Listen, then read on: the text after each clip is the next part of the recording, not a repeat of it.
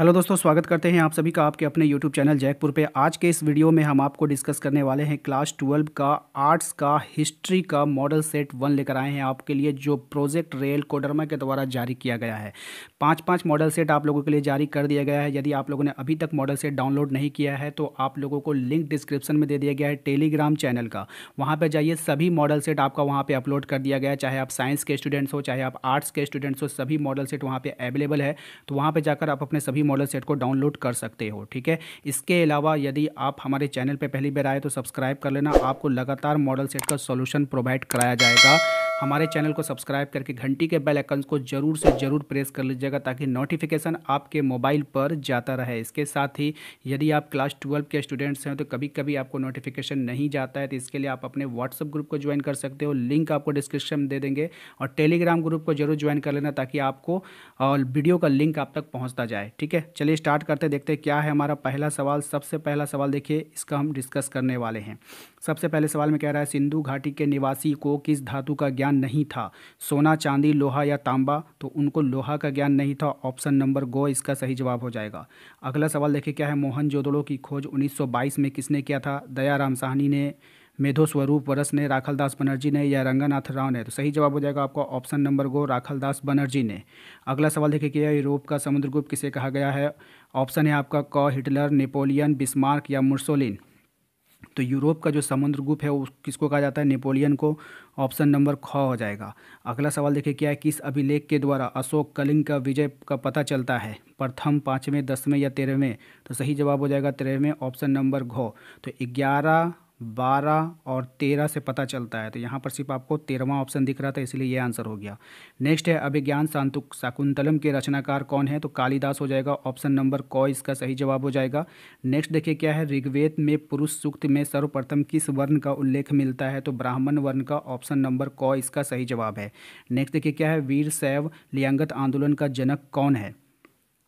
तो इसका जनक हो जाएगा आपका ऑप्शन नंबर गो बासवन्ना ठीक है? नेक्स्ट देखिए धर्म ग्रंथ सूत्र सूत्र पीटक किस धर्म से संबंधित है आपको बताना है। सही जवाब हो जाएगा आपका ऑप्शन नंबर खो, बौद्ध धर्म हो जाएगा। अगला सवाल देखिए, क्वेश्चन नंबर नौ, तंबाकू पर किस शासक ने प्रतिबंध लगा दिया था? तो तंबाकू पर शासक प्रतिबंध लगाया था जहांगीर ने। किसने लगाया था? जहांगीर ने लगाया था। अगला सवाल देखिए, क्या है मुगल कालीन चित्रकला किसके काल में चरमोत्सव पर थी? किसके काल में? मतलब कि फल फूल रही थी यह बताना है आपको। सही जवाब हो जाएगा आपका जहांगीर के काल में। नेक्स्ट है भारत का अंतिम मुगल सम्राट कौन था?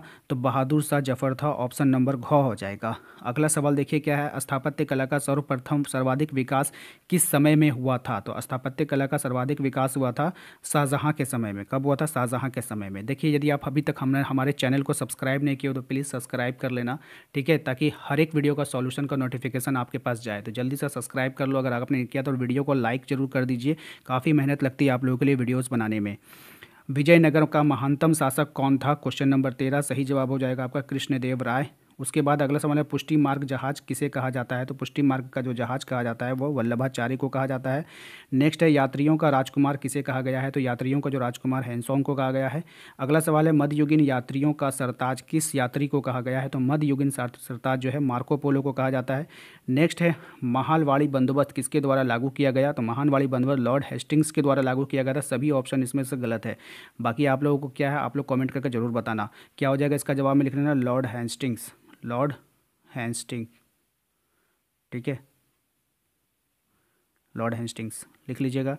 नेक्स्ट है, उलगुलान विद्रोह का नेता कौन था? तो बिरसा मुंडा थे। घौ नंबर आंसर हो जाएगा।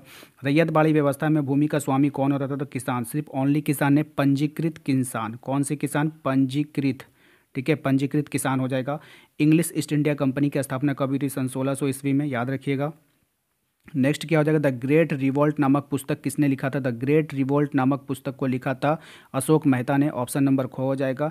अठारह के गदर को किसने क्रांति कहा था? तो अठारह के गदर को देखिए आप लोग जो इसका आंसर को कमेंट कीजिएगा, इसमें आप देखते हैं कि आप लोगों को क्या आता है, ठीक है?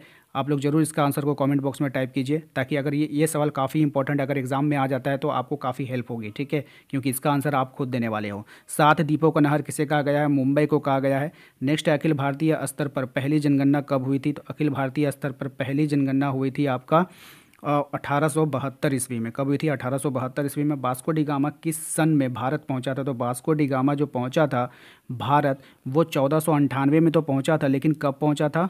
सत्रह मार्च यहाँ पे आपको लिखा गया है, लेकिन यहाँ पे देखिए सत्रह मई भी है तो यहाँ पे हो जाएगा आपका, देखिए सत्रह मई दिया, लेकिन ओरिजिनल में बीस मई होना चाहिए। क्या होना चाहिए? बीस मई होना चाहिए, वैसे आप लोग देख लोगे, ठीक है? मई में पहुँचा था, लेकिन उस हिसाब से ऑप्शन को होना चाहिए, लेकिन आप लोग देख लेना। ठीक है?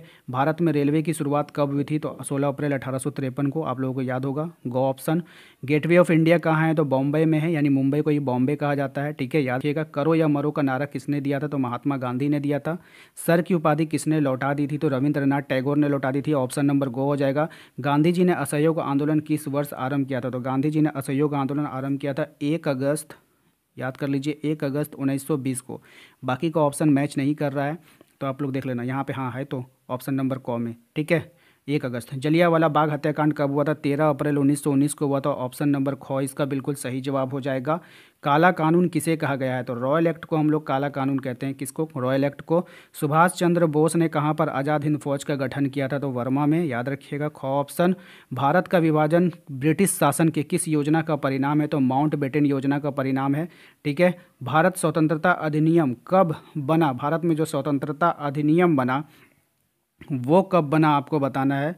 आ, सही जवाब हो जाएगा इसका। पंद्रह अगस्त उन्नीस सौ सैंतालीस को ऑप्शन नंबर गो हो जाएगा। स्वतंत्र भारत का प्रथम गवर्नर जनरल कौन था? तो देखिए जब हम लोग का भारत स्वतंत्र था उसी समय पाकिस्तान बना था और कौन सी योजना से बना था? लॉर्ड माउंट बेटन क्योंकि उस समय का गवर्नर लॉर्ड माउंट बेटन था इसलिए यहाँ पे हो जाएगा स्वतंत्र भारत का प्रथम governor general Lord Mountbatten हो जाएगा ठीक है? अब भारत लेकिन अगर यहीं पे आपसे पूछ लेता, स्वतंत्र भारत का प्रथम भारतीय गवर्नर जनरल अगर पूछ लेता इंडियन के बारे में तो सी राजगोपालचारी हो जाता, याद रखिएगा। भारतीय संविधान के अनुसार संप्रभुता किसमें निहित है तो संप्रभुता जो है भारतीय संविधान के अनुसार संप्रभुता किसमें निहित है तो संविधान में नहीं थे। याद रखना है सभी को, भारत को स्वतंत्रता गणतंत्र घोषित किया गया था। कब भारत को कब गणतंत्र घोषित कर दिया गया था तो 26 जनवरी 1950 को ऑप्शन नंबर ख इसका सही जवाब हो जाएगा। 39 में कह रहा है कि निम्न में से कौन महिला आयोग संविधान का सभा की सदस्य थी? सरोजनी नायडू थी, हंस मेहता थी, दुर्गा दुर्गा बाई देशमुख, ये तीनों थी, इसीलिए सही जवाब हो जाएगा आपका ऑप्शन नंबर घ। सही जवाब हो जाएगा कि ये लोग संविधान सभा की सदस्य थी। नेक्स्ट देखिए क्या है, अगला क्वेश्चन नंबर फोर्टीन को देखिए, लास्ट क्वेश्चन है।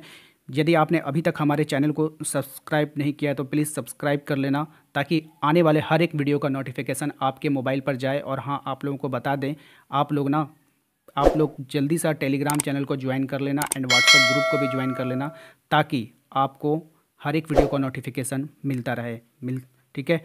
24 जनवरी 1950 को संविधान सभा के कितने सदस्यों ने संविधान पर हस्ताक्षर किए? मोस्ट इंपॉर्टेंट क्वेश्चन है। सही जवाब हो जाएगा दो सौ चौरासी। कितना हो जाएगा?